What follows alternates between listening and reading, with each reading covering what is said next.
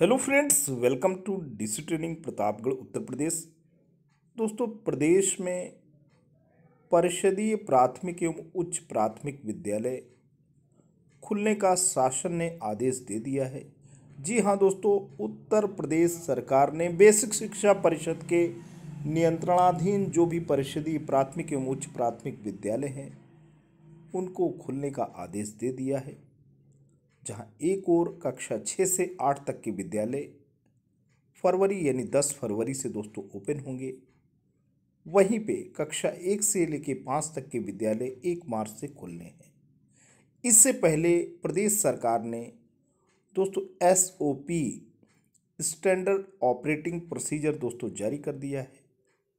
इन्हीं दिशा निर्देशों के अनुरूप विद्यालय में बच्चों के लिए शैक्षिक वातावरण के सृजन और उन्हें कोविड नाइन्टीन संक्रमण से बचाने हेतु समस्त हेडमास्टर को दोस्तों आवश्यक कार्य करने होंगे।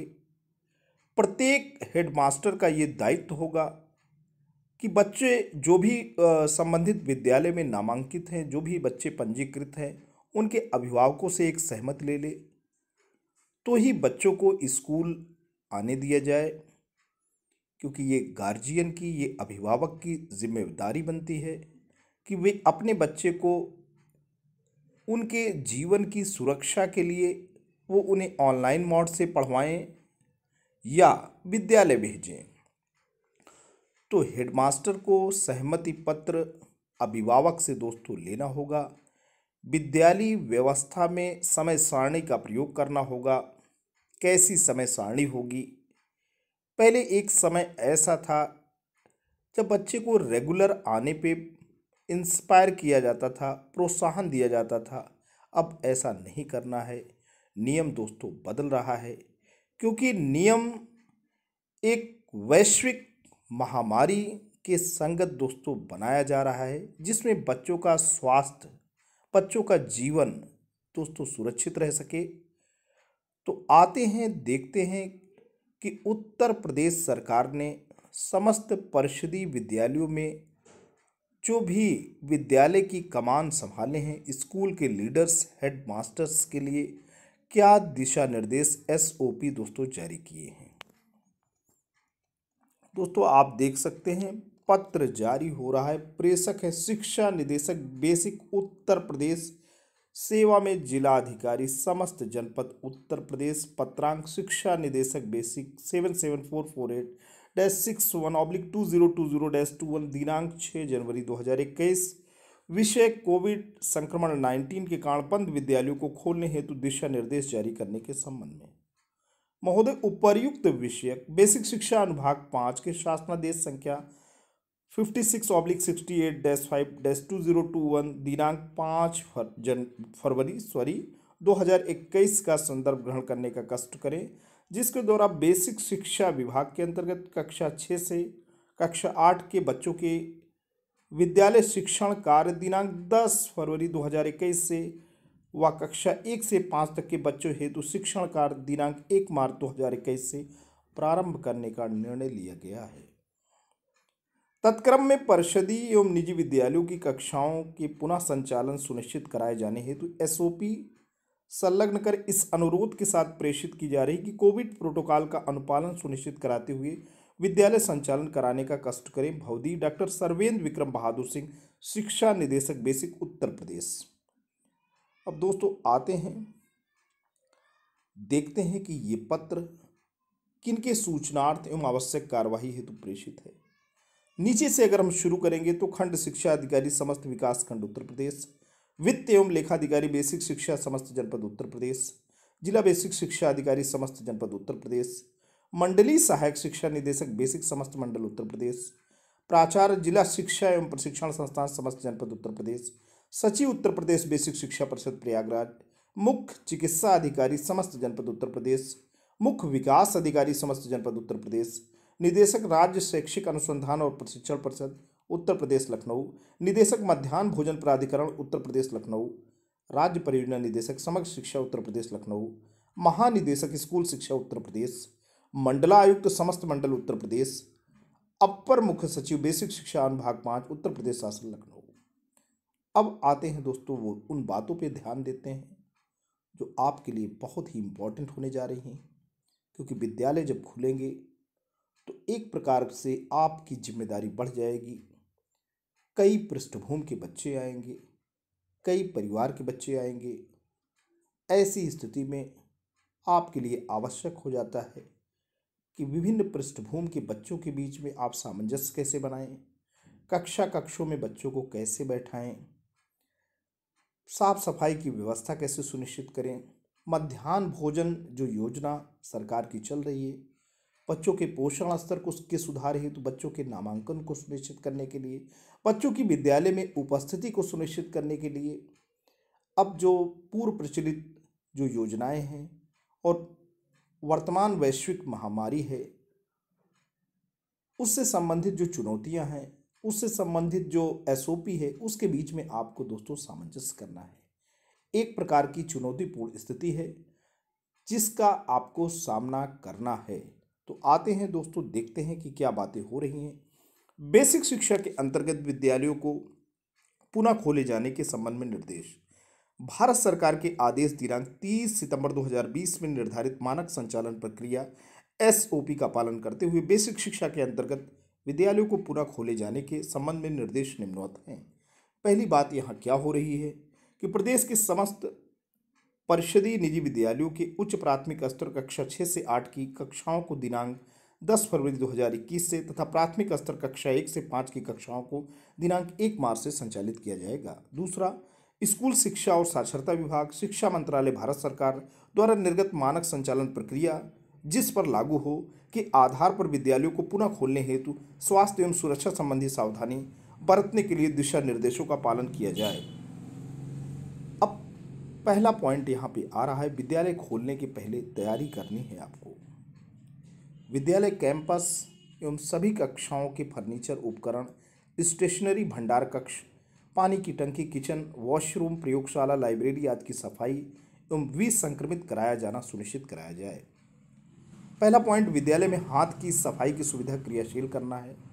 डिजिटल थर्मामीटर सैनिटाइजर साबुन आदि की व्यवस्था सुनिश्चित करना है। विद्यालय की परिवहन व्यवस्था आरंभ किए जाने के पहले सैनिटाइजेशन सुनिश्चित करना है। हेडमास्टर द्वारा स्थानीय स्तर पर आवश्यक स्वास्थ्य विभाग के चिकित्सीय स्टाफ से समन्वय स्थापित करते हुए आवश्यक मेडिकल सपोर्ट सुनिश्चित किया जाए। दोस्तों, ये काम तो आपको करना ही है। स्वच्छता के मद में कंपोजिट ग्रांट में जो आपको पैसा मिला है, उसका यहाँ आप उपयोग कर सकते हैं। आगे चलते हैं। टास्क टीम का गठन करना। पहला बिंदु है विद्यालय में आकस्मिक सुरक्षात्मक संबंधी तैयारी के लिए विद्यालय प्रबंध समिति एवं शिक्षक उत्तरदायी होंगे। कोई भी इमरजेंसी घटना अगर विद्यालय में घटती है तो वहाँ के जो शिक्षक हैं और विद्यालय प्रबंध समिति के जो सदस्य हैं, उनको यहाँ जिम्मेदार बनाया जा रहा है। दूसरा बिंदु है छात्र छात्राओं के बैठने की व्यवस्था। गाइडलाइंस के अनुसार छात्र छात्राओं के बीच कम से कम छः फीट की दूरी के साथ बैठने की व्यवस्था की जाए। यदि विद्यालय में एक सीट का बेंच डेस्क हो तो इसे भी छः फीट की दूरी पर बैठने की व्यवस्था की जाए। इसी प्रकार शिक्षक को स्टाफ रूम, कार्यालय, आगत कक्ष में भी छः फीट की दूरी पर बैठने की व्यवस्था चिन्हित की जाए। विद्यालय के प्रवेश एवं निकास द्वार को भी विभिन्न कक्षाओं के अनुसार क्रमवार समय आवंटित करते हुए आने एवं जाने के लिए चिन्हित किया जाए। आगे चलते हैं दोस्तों। विद्यालय के सभी गेट को आगमन एवं प्रस्थान के समय खुला रखा जाए, ताकि एक जगह भीड़ एकत्रित न हो। जहाँ तक संभव हो, पब्लिक एड्रेस सिस्टम का उपयोग अभिभावक विद्यार्थी के लिए सुनिश्चित किया जाए। प्राथमिक विद्यालय के वर्ग कक्ष, बाहरी नोटिस बोर्ड, दीवाल आदि पर सामाजिक दूरी का पालन करने, मास्क लगाने, सैनिटाइजेशन, हाथ सफ़ाई, यत्र तत्र थूकने से प्रतिबंध के संबंध में मुद्रित पोस्टर का प्रदर्शन किया जाए। दोस्तों, यहाँ पे कहने का मतलब ये है कि बच्चों के बीच में एक प्रकार का जागरूकता हो, बच्चे बीमारी के प्रति उदासीन ना हो, निष्क्रिय ना हो। पूरी कोशिश करें कि सचित्र जो माध्यमों के माध्यम से, चित्रों के माध्यम से, पोस्टर्स के माध्यम से उन्हें जागरूक करें कि यत्र तत्र बच्चे न थूकें। विभिन्न स्थलों यथा आगंतुक कक्ष हाथ सफ़ाई स्थल, पेयजल केंद्र, टॉयलेट के बाहर, ज़मीन पर वृत्ताकार चिन्ह छः फीट की दूरी पर निशान बनाया जाए।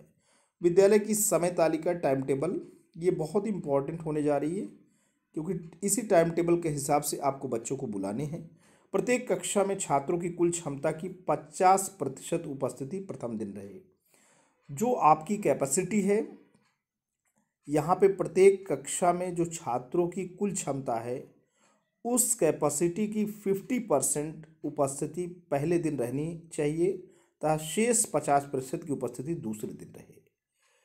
इस प्रकार किसी भी कार्य दिवस पर किसी भी कक्षा में कुल क्षमता का पचास प्रतिशत से अधिक उपस्थिति नहीं रहेगी।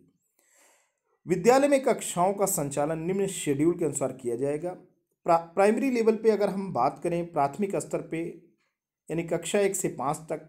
सोमवार व बृहस्पतिवार यानी गुरुवार को कक्षा एक और पाँच को बुलाना है। मंगलवार व शुक्रवार को कक्षा दो एवं चार को।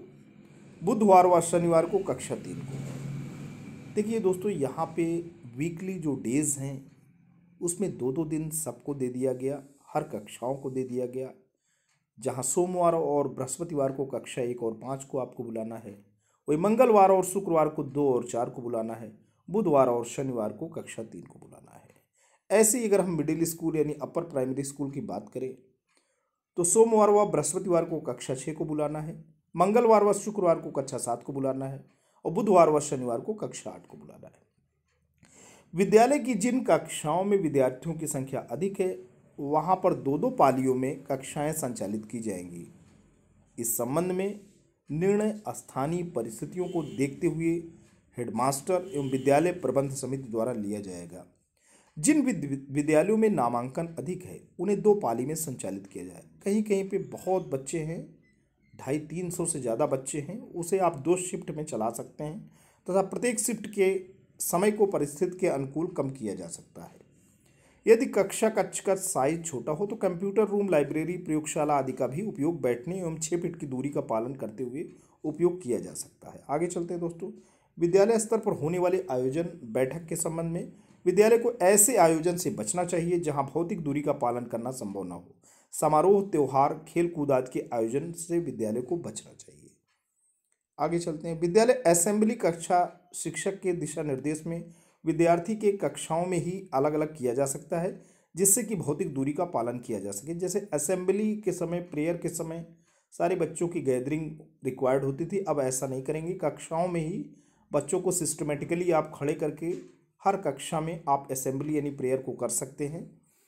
कक्षा में एक नामांकन के समय केवल अभिभावक को ही रखा जाए, बच्चों को अभिभावक के साथ आने से मुक्त रखा जाए। माता पिता अभिभावक से सहमति।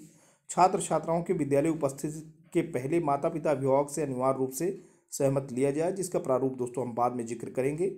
यदि विद्यार्थी परिवार की सहमत से ही घर पे अध्ययन करना चाहता है तो उन्हें अनुमति दी जाए। ऐसे सभी विद्यार्थियों के अध्ययन संबंधी प्रगति का योजनाबद्ध तरीके से अनुसरण की व्यवस्था की जाए। चिकित्सा सुविधा की उपलब्धता सुनिश्चित करना। विद्यालय या उसके नज़दीक स्थल पर स्वास्थ्यकर्मी, नर्स, डॉक्टर, काउंसलर की उपलब्धता सुनिश्चित की जाए, जो छात्रों के शारीरिक एवं मानसिक स्थिति की जाँच हेतु उपलब्ध रहे। विद्यालय के शिक्षक एवं छात्रों के नियमित स्वास्थ्य जाँच की व्यवस्था की जाए।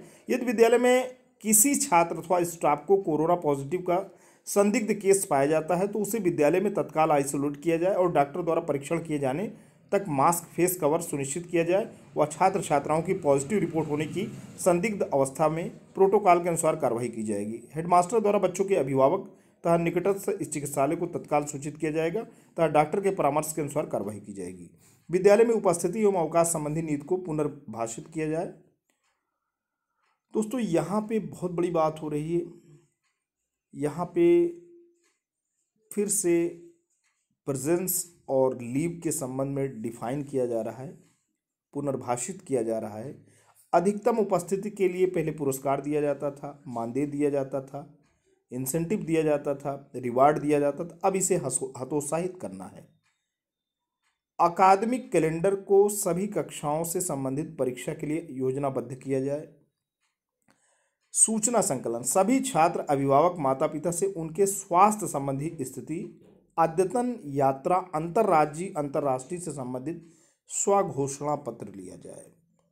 विद्यालय खोलने के बाद भी आपको तैयारी करनी है। कैंपस एवं आसपास के क्षेत्र में नियमित स्वास्थ्य एवं सफ़ाई के पर्यवेक्षण की व्यवस्था की जाए। विद्यालय के परिसर की प्रतिदिन सफ़ाई की जाए। विद्यालय की सफ़ाई व्यवस्था में विद्यार्थियों को कदापि न लगाया जाए। ये बड़ी बात है। स्कूल की साफ़ सफ़ाई में बच्चों को आप बिल्कुल इन्वॉल्व न करें। पर्यावरणीय सफ़ाई प्रक्रिया का पालन करते हुए अपशिष्ट पदार्थों के निस्तारण, पेयजल एवं जल निकास का समुचित प्रबंधन सुनिश्चित किया जाए। सामान्यतः छुए जाने वाले तल जैसे दरवाजे की कुंडी, डैशबोर्ड, डस्टर, बेंच डेस्क आदि की निरंतर सफ़ाई में सैनिटाइजेशन सुनिश्चित किया जाए। सभी अधिगम शिक्षण सामग्री का भी सैनिटाइजेशन किया जाए।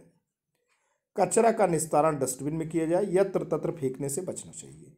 डस्टबिन साफ़ एवं पूरी तरह ढका होना चाहिए एवं उचित जगह पर रखा होना चाहिए। हाथ सफ़ाई के स्थल पर साबुन एवं साफ़ पानी की उपलब्धता होनी चाहिए। बाथरूम एवं शौचालय को नियमित अंतराल पर सफ़ाई एवं विसंक्रमित किया जाना सुनिश्चित किया जाए। साफ़ पीने का पानी की उपलब्धता सुनिश्चित करने के साथ ही विद्यार्थियों को घर से पानी की बोतल लाने हेतु तो प्रोत्साहित किया जाए। विद्यालयों में संचालित पुस्तकालय में भी छः फीट की दूरी का पालन करते हुए बच्चों की उपस्थिति निर्धारित की जाए।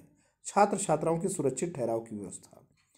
सभी विद्यार्थियों, विद्यालय के शिक्षक एवं कर्मी जो कार पर आएँगे, उन्हें नियमित रूप से मास्क पहनने का निर्देश दिया जाए। विशेषकर उस समय जब वे क्लास में हों, या समूह में कोई कार्य कर रहे हों, या प्रयोगशाला में कार्य कर रहे हों, या पुस्तकालय में अध्ययन कर रहे हों। बच्चों को परस्पर एक दूसरे का मास्क अदला बदली नहीं करने का निर्देश दिया जाए। जहाँ तक संभव हो, विद्यालय द्वारा संपर्क विहीन उपस्थिति पद्धति, ऑनलाइन उपस्थिति प्रक्रिया को अपनाया जाए। सभी बच्चों को नाक, आँख, कान, मुँह आदि छूने से बचने एवं कब सर्दी, बुखार आदि के बारे में जानकारी दी जाए यत्र तत्र थूकने से प्रतिबंधित किया जाए। सभी सफ़ाई स्टाफ वर्कर के लिए आवश्यक उपकरण यथा ग्लव्स, फेस कवर, मास्क, हाथ धोने का साबुन की उपलब्धता सुनिश्चित की जाए। विद्यार्थियों द्वारा पाठ्यपुस्तकें, नोटबुक, पेन, भोजन आदि एक दूसरे से साझा नहीं किया जाए। विद्यालय संचालन तथा कक्षा कक्ष के दरवाजे यथा आवश्यकता अनुसार खुले रखे जाएँ। बाहरी वेंडर को विद्यालय के अंदर खाद्य सामग्री की बिक्री से रोका जाए। विद्यार्थियों के सुरक्षित आवागमन की व्यवस्था।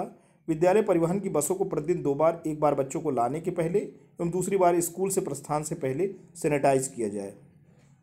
विद्यालय बस के चालक या उपचालक को सभी समय भौतिक दूरी बनाए रखने हेतु कहा जाए। यदि आवश्यक हो तो भौतिक दूरी के पालन छः फीट की दूरी के लिए अधिक बसों को लगाया जाए। जहाँ तक संभव हो, बस पर चढ़ने के समय सभी बच्चों की थर्मल स्क्रीनिंग की जाए। बिना मास्क के किसी को भी बस पर बैठने की अनुमति नहीं दी जाए। बस की सभी खिड़कियाँ खुली रहनी चाहिए।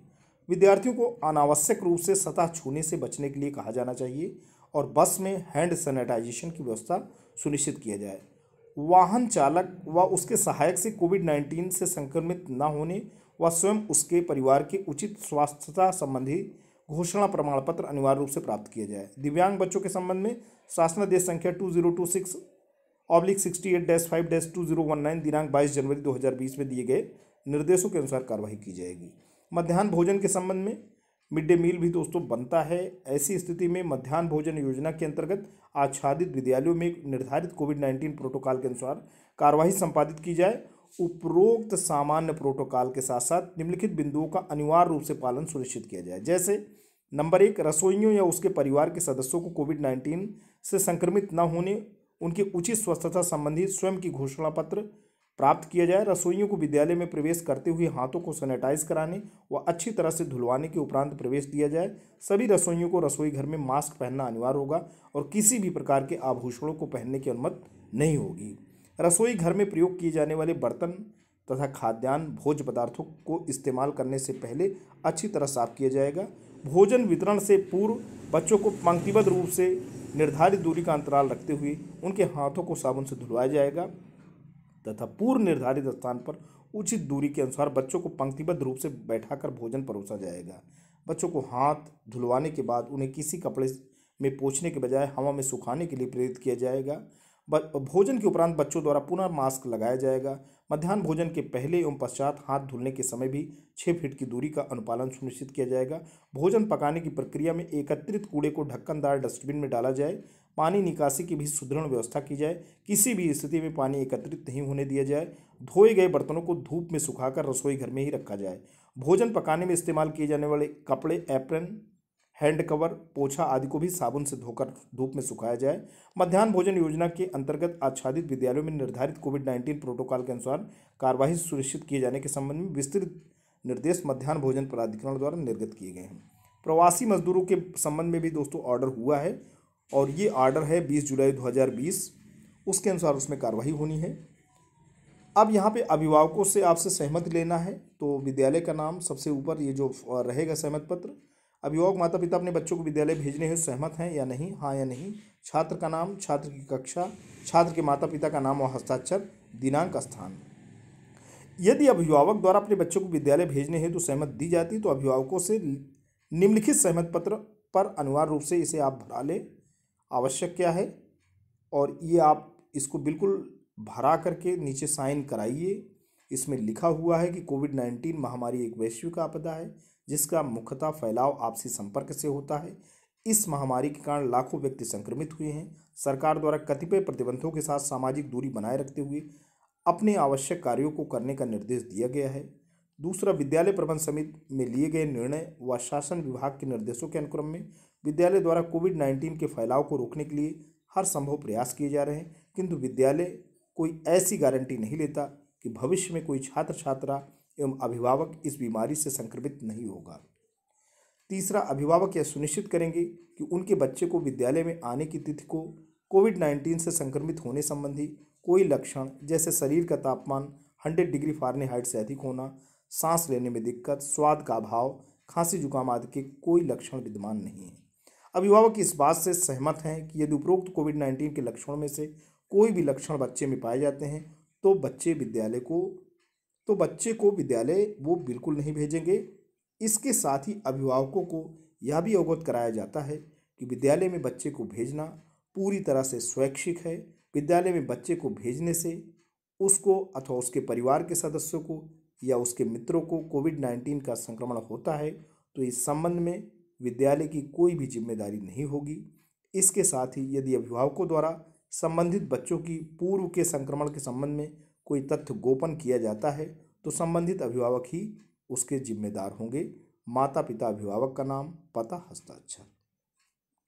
तो दोस्तों, ये पूरी की पूरी गाइडलाइंस रही, जिसमें तमाम बातें हैं।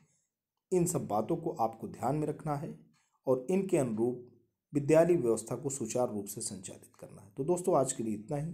ये वीडियो, ये इन्फॉर्मेशन आपको कैसा लगा? यदि आपको अच्छा लगा हो तो आप इसे लाइक कर सकते हैं, चैनल पे कमेंट कर सकते हैं। लेकिन अगर आप डिजिटल ट्रेनिंग प्रतापगढ़, उत्तर प्रदेश के इस खूबसूरत यूट्यूब चैनल पर नए हैं पहली बार विज़िट कर रहे हैं तो प्लीज़ इसे सब्सक्राइब करें। जब भी आप सब्सक्राइब बटन प्रेस करते हैं, बराबर से एक बेल आइकन आता है, उसे प्रेस करें और चैनल को सब्सक्राइब करें। Thanks for watching and listening this is Ajay Prakash Dubey signing off